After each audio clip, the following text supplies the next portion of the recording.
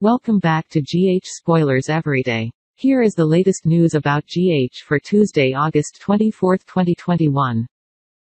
General Hospital spoilers tease that Willow Tait will live in torment because she is keeping a big secret from Harrison Chase. Well, she married Chase while in love with Michael Corinthos.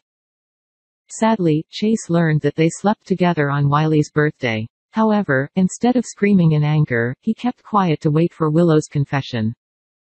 He created many opportunities for Willow to reveal something but she didn't take them. In Monday's episode, Willow will tell Michael that she cannot lie to Chase anymore.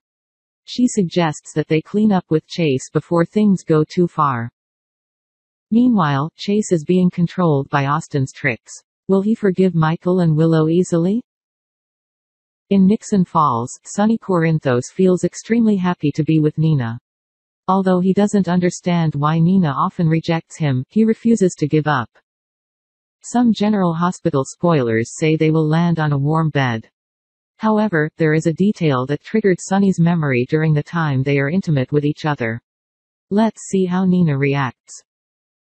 Over with Carly Corinthos, she will feel the pressure of the battle for business territory.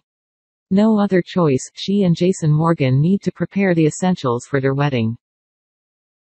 Joey Novak is making their life stressful. So they will plan to crush his dark actions. At GH, the battle between Britt Westbourne and Terry Randolph becomes more intense when Elizabeth Baldwin accidentally pisses them off. Perhaps, Britt will make a bold move in vying for the position of Chief of Staff. Anyway, she looks so pitiful at her colleagues' disparaging words. However, Jax will help her get through it. Next, Sam McCall will spend most of her time investigating Drew Cain's case. Dante Falconeri will give her some clues worth mulling over. It's worth mentioning that he feels disappointed if Drew and Sam get back together.